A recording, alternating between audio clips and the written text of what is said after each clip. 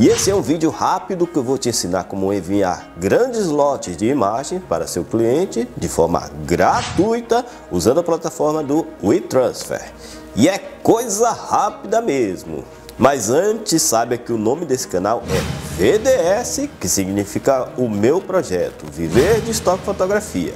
Meu nome é João Souza, sou fotógrafo e eu produzo fotografias e vídeos que são vendidos para clientes de todo o planeta. Se você quer aprender como faz essa atividade, então se inscreve nesse canal, ative o sininho das notificações para acompanhar todas as dicas e tutoriais que passo por aqui. E a primeira dica que deixo nesse vídeo é para baixar meu e-book de forma gratuita com endereço de 50 agências para você se cadastrar e vender suas fotografias e vídeos hoje mesmo. O link está na descrição. Mas se você tem alguma dificuldade e não sabe como fazer, então veja o meu treinamento onde detalho tudo direitinho para você que deseja, assim como eu, viver de fotografia de estoque. Link na descrição e também por esse QR Code na tela. Agora que você já sabe com quem fala e de onde fala, vamos à proposta desse vídeo, que é te ensinar como fazer transferência de lotes de imagens de forma 0800, de graça, por meio do sistema WeTransfer.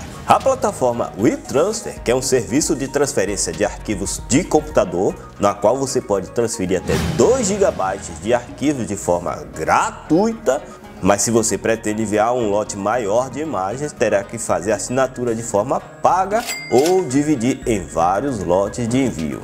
Vou separar uma pasta aqui com 100 imagens de alta resolução para você ver como é bem simples o envio desses arquivos. E no primeiro passo você terá que entrar nesse site aqui, wetransfer.com e clica nessa parte aqui. Aqui você terá que inserir o e-mail do destinatário e também o seu e-mail. No meu caso, o destinatário e o remetente será o mesmo e-mail, mas você pode inserir até 20 e-mails como destinatário. Aqui você vai colocar um título e nessa parte aqui, que é opcional, você vai colocar uma mensagem. Agora você clica aqui, só desejo enviar ficheiros. Depois você vai clicar em transferir.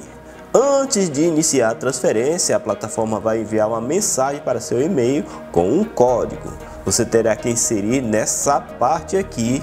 Depois disso, a transferência vai começar a ser feita.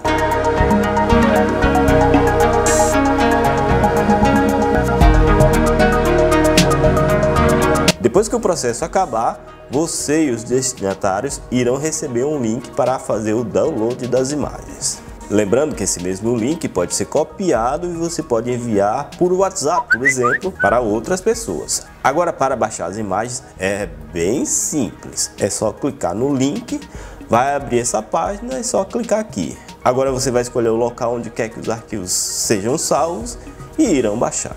E tem uma observação: no formato gratuito, esses arquivos ficarão disponíveis para download por 7 dias. Depois disso, a plataforma irá excluir os arquivos. Mesmo assim, vale a pena essa forma de envio gratuita.